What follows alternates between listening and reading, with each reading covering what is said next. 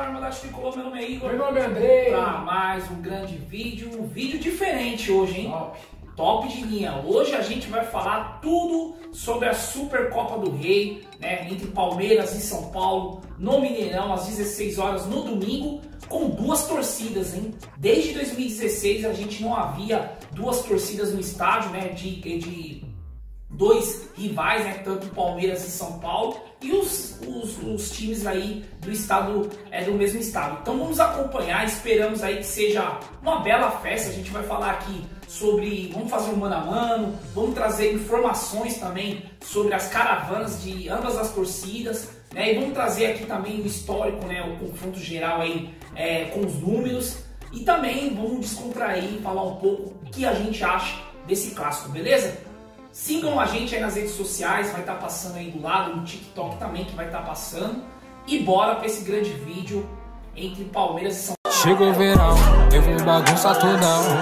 De Nike no pé, Big Croc no boné. São Paulo final da Super.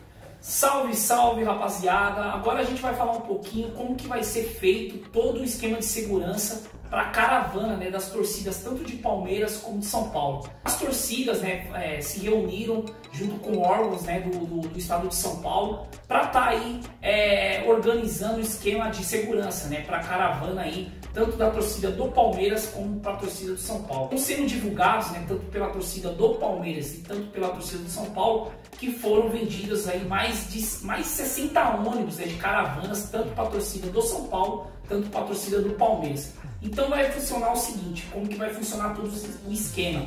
A torcida do Palmeiras vai sair no sábado, às 19 horas aqui de São Paulo, né, com esquema, com, com escolta de polícia até Minas Gerais. A chegada está prevista para mais ou menos meia-noite. Tá? Então a torcida do Palmeiras vai estar tá chegando em Minas Gerais à meia-noite.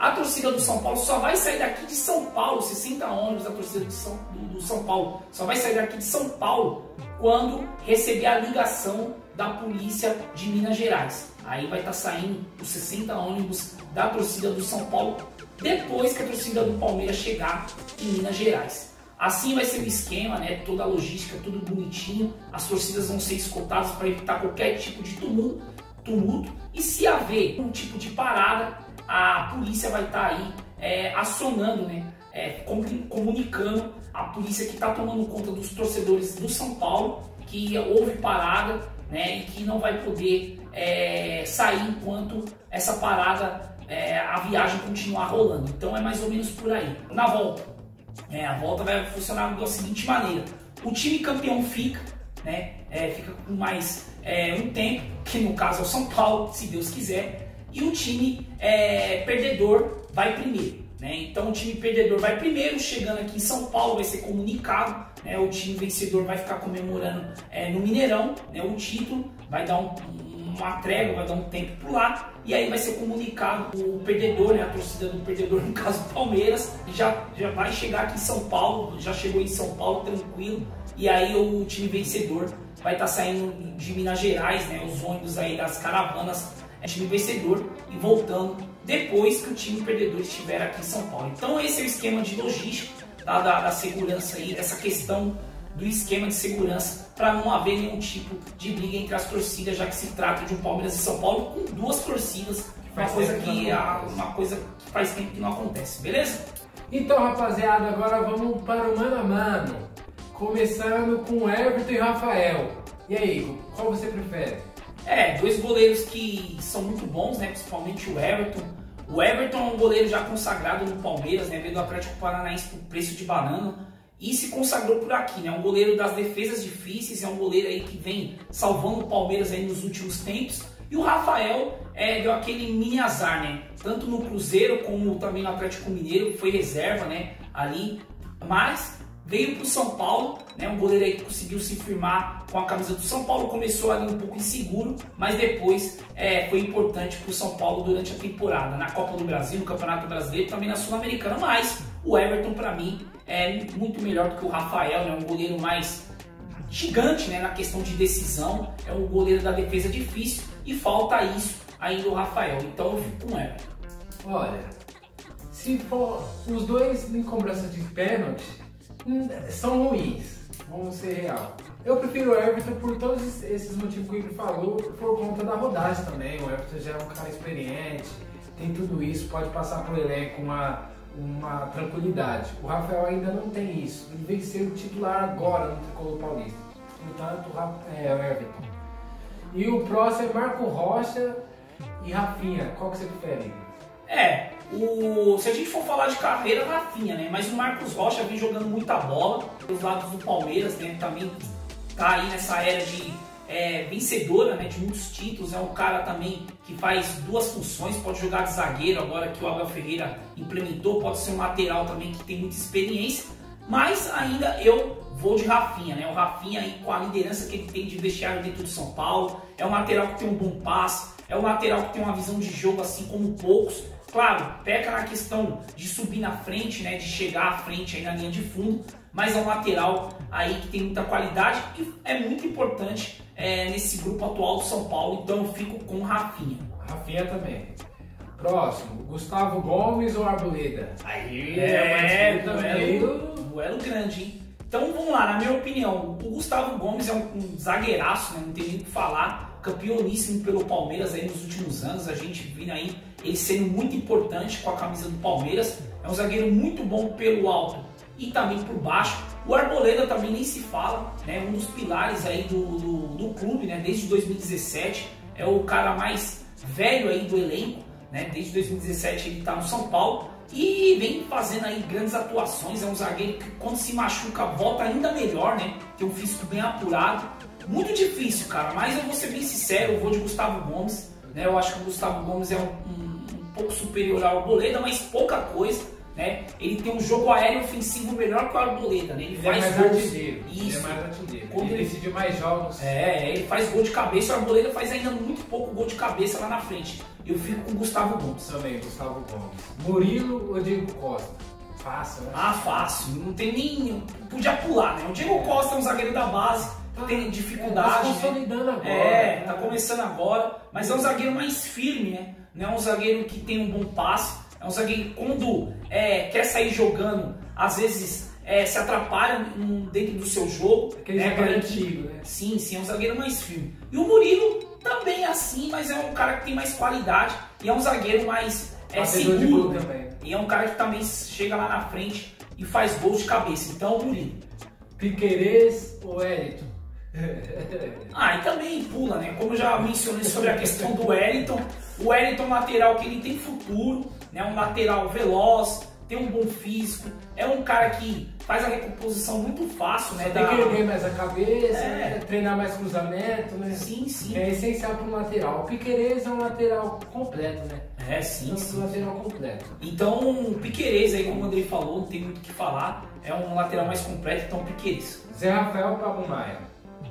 Cara, é. No então, momento. É, é, é, bem complicado né, essa, essa, essa, esse mano a mano. Mas eu fico com o Zé Rafael, porque o Zé Rafael é um jogador mais consolidado também. Ganhou muitos títulos. O Pablo Maia tem muito futuro, tá jogando demais com a camisa do São Paulo. Teve altos e baixos também né, no comando do Rogério Senna. Ele começou bem, depois teve uma queda, depois retomou seu bom futebol com o Dorival Júnior. E depois, quando se consolidou com, com a dupla Pablo Maia e Alisson, ele voou, né? Começou a jogar muita bola, teve uma regularidade, vem tendo uma regularidade absurda, tem um chute bom de média e longa distância, né? Quando ele chega na frente, ele tem esse chute de média, média e longa distância muito bom. Mas o Zé Rafael é o cara que faz multifunções no Palmeiras, já jogou de primeiro volante quando não tinha, quando o Danilo saiu, segundo volante, terceiro homem do meio campo, chega na frente, faz mais gols também que o Paulo Maia. Então o Zé Rafael aí, como o André sempre fala nos Yetis, já merecia uma, uma vaga na seleção. Então Zé, Zé Rafael. Rafael. Richard Rios ou Alisson? É, é aquilo, né? É, o Richard Rios foi uma contratação que o Abel Ferreira é, pediu né, a diretoria do Palmeiras, ele veio do Guarani, é um colombiano que também é um bom jogador, né? Ele é muito versátil. O Abel Ferreira gosta de jogadores versáteis, né? E começou com um pouco de dificuldade, mas depois do segundo e terceiro jogo ele já emplacou rápido, né? Fez algumas boas atuações, mas o Alisson para mim é, vem jogando muita bola. Depois que o Dorival Júnior colocou ele como segundo volante, ele deitou no São Paulo. Motorzinho. É, motorzinho do é meio campo. Super, como que é? Superestimado. É, ele é um cara que é um coringa, né? É. Do time do São Paulo. Então eu vou de Alisson, mas o tecnicamente o Richard Rios é melhor do que o Alisson, mas pela bola que o Alisson vem jogando como segundo volante, sendo um cara importante ali é, dentro do, do, time de São Paulo, eu vou de Alisson aí. Também por tudo que ele passou ali, com problema de depressão e tudo mais, ele se ergueu e tá jogando muita bola com a camisa do São Paulo, então eu vou de Alisson. Mike ou Elton Mouse? É, porque aí tá, tá, tá meio invertido, né? Não são posições com posições. É, né? porque o Mike é improvisado, né? É, improvisado mais na frente, é, jogando como praticamente meia, né? Fazendo a dobradinha de laterais ali, Mike e Murilo. É, são posições diferentes, né? Porque, como eu falei, o Mike é um lateral, mas o Marcos Rocha tá fazendo a lateral e faz aquela dobradinha de laterais, né? Então, assim, é, o Mike é mais jogador, né? Vem jogando muita bola no, com a camisa do Palmeiras. Como lateral. É, como lateral, tá? Mas como meia, né? Já que a gente está comparando meia com meia, eu vou de Wellington Rato, né? Um, um, jogador que foi muito questionado, né? Que veio aí é, meio, né? Com, com, a torcida olhou meio torta para ele, né? Sobre a questão é, de vir do Atlético Goianiense, não ser um cara protagonista, não ser aquele cara é, de nome. Mas o Ayrton Rato provou o contrário, né? Veio decidido o jogo, começou muito bem, né? O começo de temporada ali nas mãos do Rogério Senna, sendo um cara importante nas bolas paradas e no chute de média e longa distância, né? Fazendo aquele gol contra o Ituano na Copa do Brasil ali na terceira fase, fazendo gol contra o Corinthians em semifinal, né? Sendo decisivo também sem a bola, ajudando o Rafinha na marcação. Então, eu vou de Wellington Rato por tudo e que e começou muito bem essa temporada, né? É, dando duas assistências aí no, no majestoso, né, quebrando, foi a quebra de tabu do São Paulo em cima do Corinthians, começando bem também o Campeonato Paulista, então na, nas mãos do Carpini, então eu vou de Wellington Rato. Rato. Agora o bicho pega, hein? Veiga ou Lucas? É complicado aí essa, essa, esse mano a mano, hein?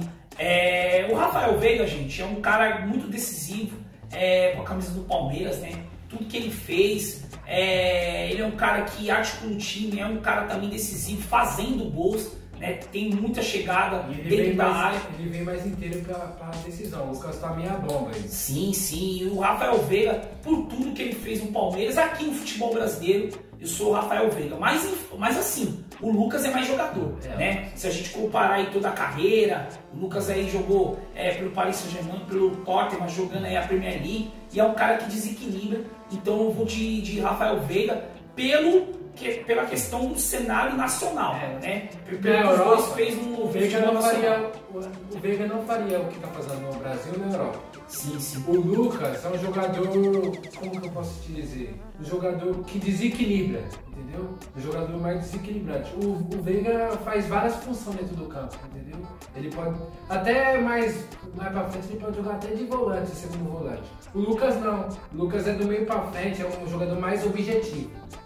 Eu, eu, na melhor fase, André, você escolheria quem? O Rafael Veiga ou o Lucas? Eu, Lucas, 10 vezes. Na melhor fase, 10 vezes. É. Mas agora eu escolho o Veiga por, por o que ele fez no Palmeiras e o que ele entregou no futebol brasileiro. É, um cara ídolo do Palmeiras que é, que é decisivo tanto fazendo gols como dando assistências. Então é um pilar aí desse time do Palmeiras nos últimos tempos. Então eu vou é, de Rafael Veiga. Rony ou Luciano? Complicado, hein? Eu, eu vou de Luciano, sabe por quê, gente? É o seguinte. O Luciano veio né, de uma troca com o Everton, né? O Everton, ponto esquerdo ali, é, atacante do, de 2018, né? Do time do Agui. É, foi uma troca entre São Paulo e Grêmio.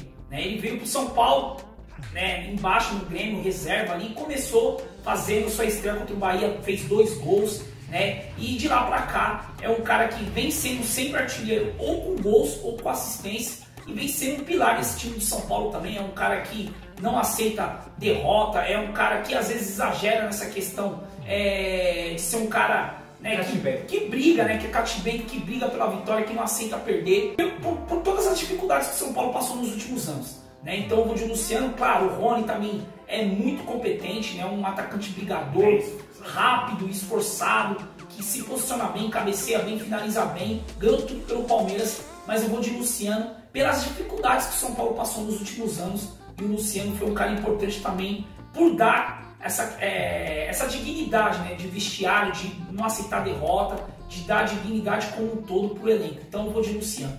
Ah, eu vou de Rony por ele ser. For, ele foi artilheiro da Libertadores e ele no esquema do Abel Ferreira, a 2021, 2020, 2021, ele foi um esquema, ele foi um cara importante nessa decisão, porque quando saía ele, é, não tinha outro cara para suprir. Entendeu? Pra mim o Rony, por ser.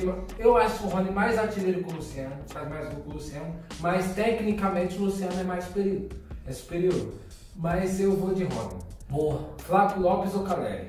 Ah, aí não tem nem. Poder, poderia pular, né? Caleri fácil, né? Caleri tecnicamente é, não é um primor, né? Mas o que ele briga, o que ele inferniza zagueiro, né? Um cara que tem um tempo de bola muito bom, bom posicionamento, finaliza bem, cabeceia bem. E é um cara que veste a camisa do São Paulo com muito amor, né? A gente vê aí que ano passado ele jogou machucado praticamente seis meses só foi operar ali quando o São Paulo já não tinha risco de rebaixamento e ganhar a Copa do Brasil. Fez um gol decisivo contra o Flamengo. Então, o gol de Caleri, fácil, né? O Flávio Lopes, né? Ele veio, é, é, veio, veio do Lanús. Ele só tá, ele só tá jogando quase com ele que tá na seleção. Sim, sim, veio do Lanús. Era um, é, foi uma aposta, né? Foi um pedido aí também do Abel Ferreira.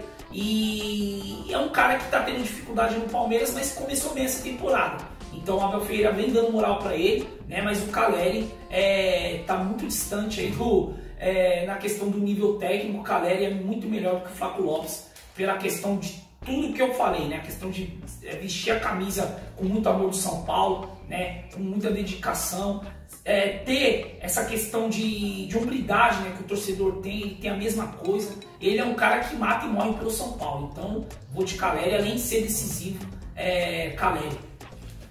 Abel Ferreira ou Carpini também, né? É, isso aí tinha que pular, não tinha nem que ter. É, mas, vamos lá. Thiago Carpini é um treinador de começo de carreira, né? Ele fez bom trabalho é, pelo Água Santa, chegando à final contra o Palmeiras.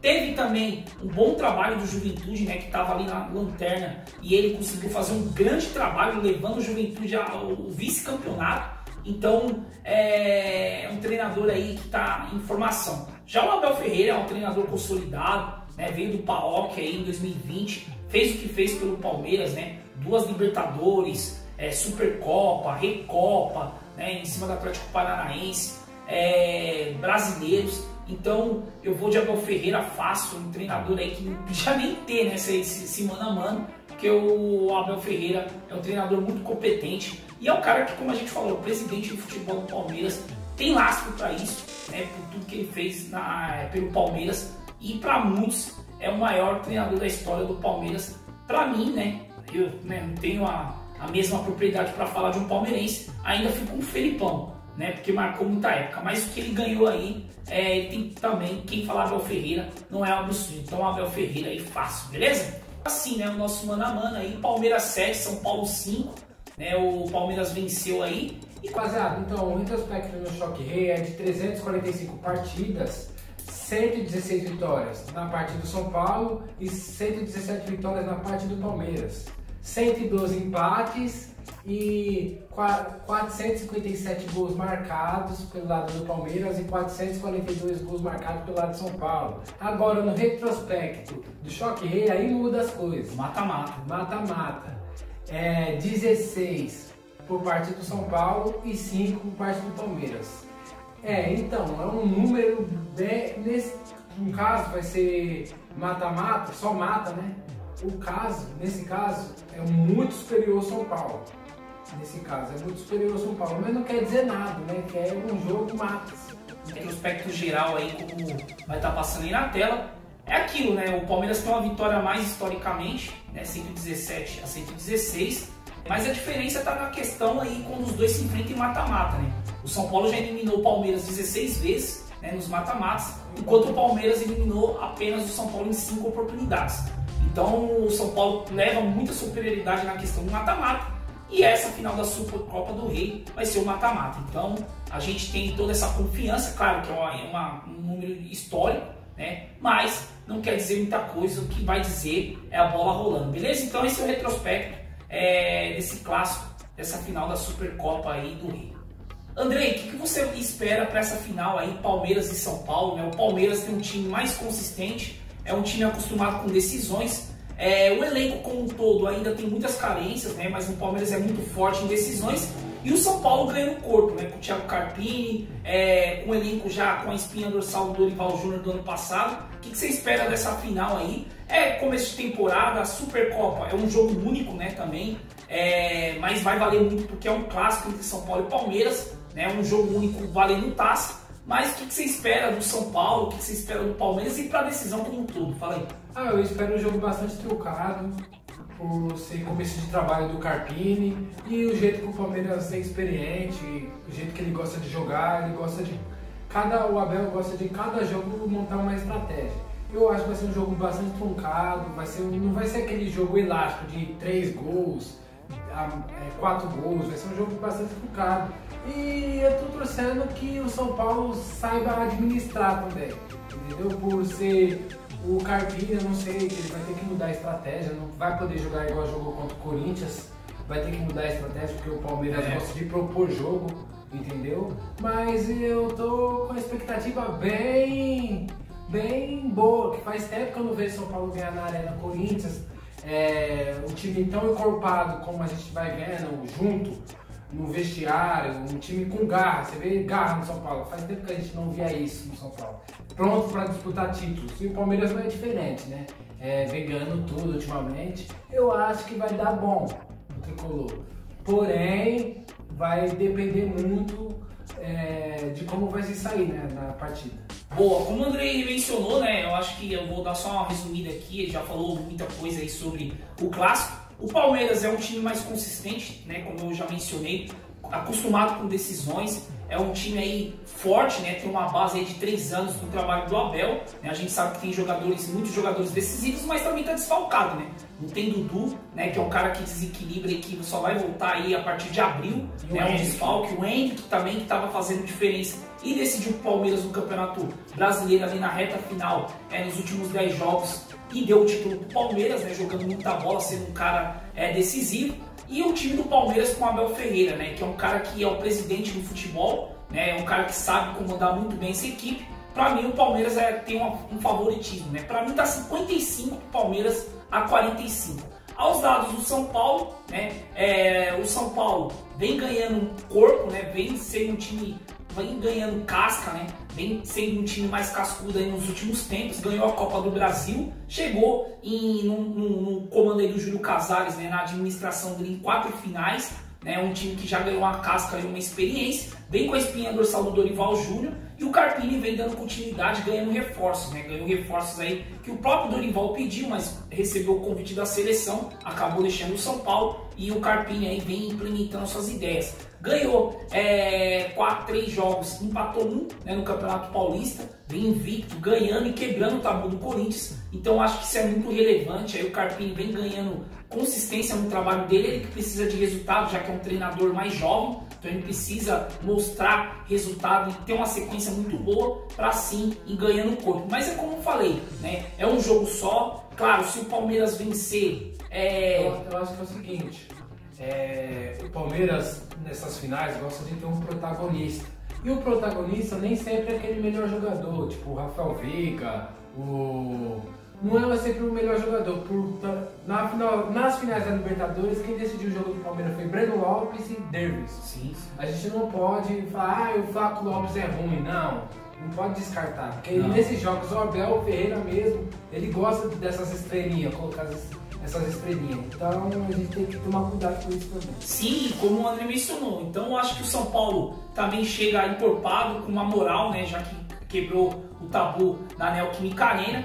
E bem forte, né? Bem forte aí. O Lucas ainda é dúvida, a gente vai é, comentar aí no mano a mano, né? Pode ser que o Michel Araújo entre no time aí, mas é, o São Paulo vem forte para essa decisão, vem com moral alto depois de ter quebrado o tabu em Itaquera e vem é, para buscar esse título, que é importante também para a sequência do, do, trabalho do Thiago Carpini. Claro, quem perder aí dos dois é, sempre tem é, a sua uma, né, uma mini crise. Eu acho que não, não, a gente não pode dizer assim, é dar uma balançada. Se for balançar, balançar mais pelo lado do São Paulo. É, sim, sim. Mas E não o tanto. Palmeiras é consolidado, né? É, sim, mas nem tanto também. Eu acho que não, não vai balançar tanto, né? Claro, tem os questionamentos, Mas não. perdeu o clássico, uma final pro, pro arquirrival, Porque mas depende de não. como perder a partida também. Tem Sim, essa, sim, né? sim. É, lógico. É. Não pode tomar de 5, né? Isso, é isso gente- Não pode acontecer isso. Se for um jogo equilibrado, disputado e competitivo, né? O São Paulo fazer uma partida digna, eu acho que não vai ter é, tanta é, rachadura assim é, atual derrota. Então é isso, galera. É, é isso que a gente acha dessa final. Vai ser um jogo muito parelho, equilibrado, mas eu acho que o Palmeiras, pela consistência dos últimos anos, é o favorito, mas o favorito não quer dizer que vai ganhar. A gente vai torcer pelo nosso tricolor para buscar esse título, beleza?